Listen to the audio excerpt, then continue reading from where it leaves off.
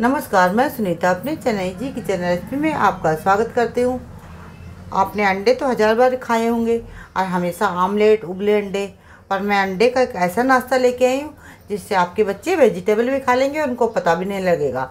तो स्टार्ट करते अपनी नई रेसिपी। एग बाइट बनाने के लिए हमने यहाँ चार अंडे लिए। चार अंडों को हम इस तरह से एक बाउल में तोड़ लेते हैं।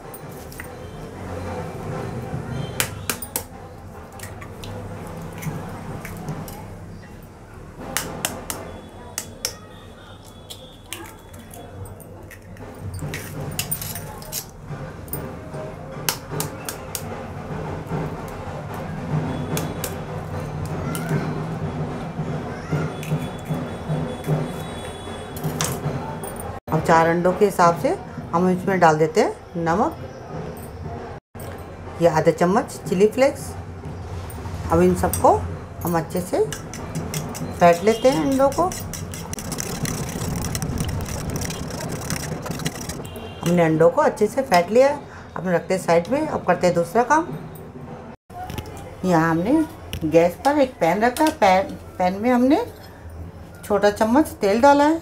तेल हमारा गर्म हो गया हमने ये छोटे साइज़ की एक प्याज थी, जिसको हमने बिल्कुल बारीक बारीक काट लिया इसको हम डाल देंगे तेल में। हमें इसको ज़्यादा नहीं पकाना है। साथ में डाल देंगे ये हरी मिर्ची। और इसको भी प्याज के साथ ही भून लेते हैं। हमें प्याज का ज़्यादा कलर चेंज नहीं करना है। हल्का सा ही पकाना है प्याज को। प्याज हमारी पक गई है।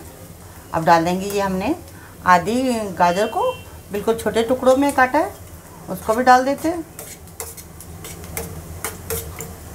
साथ में ये फूल गोभी है, जो दो चम्मच है, सभी सब्ज़ियाँ हमने दो दो चम्मच ली हैं।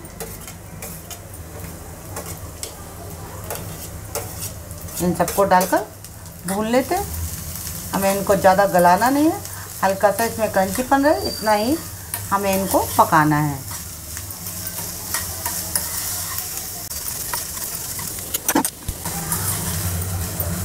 गैस की फ्लेम हमने मीडियम कर रखी है और मीडियम ही फ्लेम पे इस सब्जियों को पका लेंगे। डालेंगे सब्जियों के अकॉर्डिंग नमक, क्योंकि हमने अंडों में नमक डाल दिया था, इसलिए सब्ज़ी के हिसाब से अब हम नमक डालेंगे और इसमें डालेंगे आधा चम्मच काली मिर्ची का पाउडर।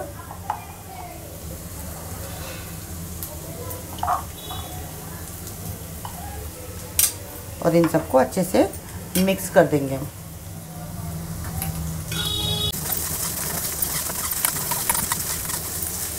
इसे हमें एक से दो, मिनट के लिए ही पकाना है। ज़्यादा हमें इसको नहीं गलाना है। ये हमारी सब्ज़ी पककर तैयार हो गई है। अब गैस कर देंगे बंद। और इसको अपने अंडे के बैटर में डाल देंगे। हम डायरेक्ट इसे अंडे के बैटर में डाल देंगे।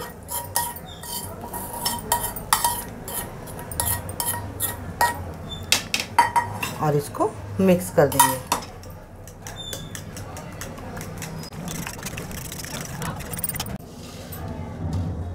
उसमें डाल देंगे थोड़ा सा हरा धनिया।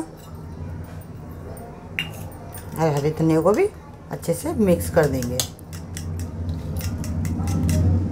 यहाँ हमने लिया है अपे पैन।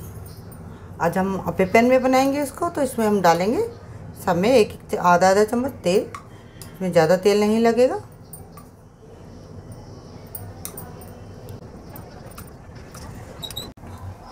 और ब्रश की सहायता से इसको चारों ओर फैला देंगे। इसमें आपने अंडे का जो हमने बैटर तैयार किया था, उसको थोड़ा थोड़ा फिल्ट कर कर देंगे इसमें। थोड़ा थोड़ा ही डालेंगे जिससे कि ये फूलेगा भी अभी।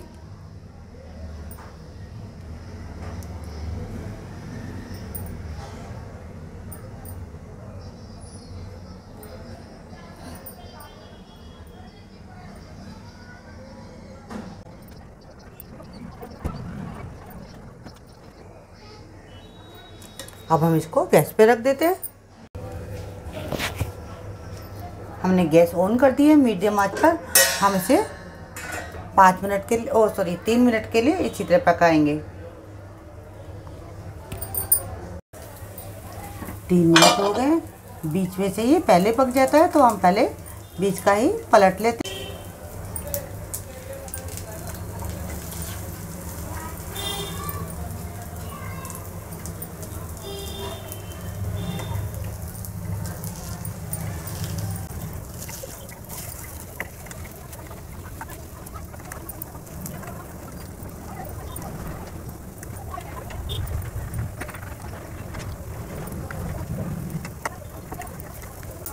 ये हमने सभी एग पाइप पलट लिए अब पीछे की साइड हमें ज़्यादा नहीं पकाना है। आप देख सकते हैं, ये तो ऑलरेडी पक चुके हैं।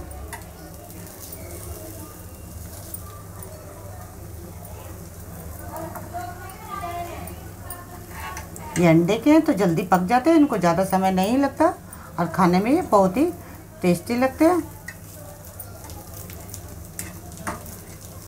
ये हमारी एग वाइट बनकर रेडी हो गई है। अब हम इनको निकाल लेते हैं।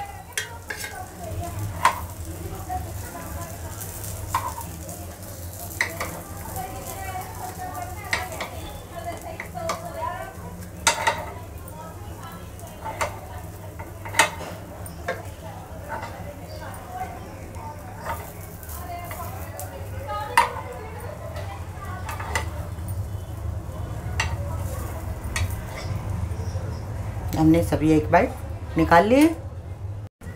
ये हमारी सभी एग बाइट बनकर रेडी हो गई है। अब बहुत ही अच्छी बनी है और खाने में भी ये बहुत टेस्टी लगती है। हम आपको एक तोड़ के भी दिखा देते हैं। अंदर से भी अच्छे से पक गया अंडा। सारी सब्ज़ियाँ तो पहले ही पकी थी। मात्र पाँच मिनट में बनने वाला ये नाश्ता खाने में बहुत ही टेस्टी लगता है।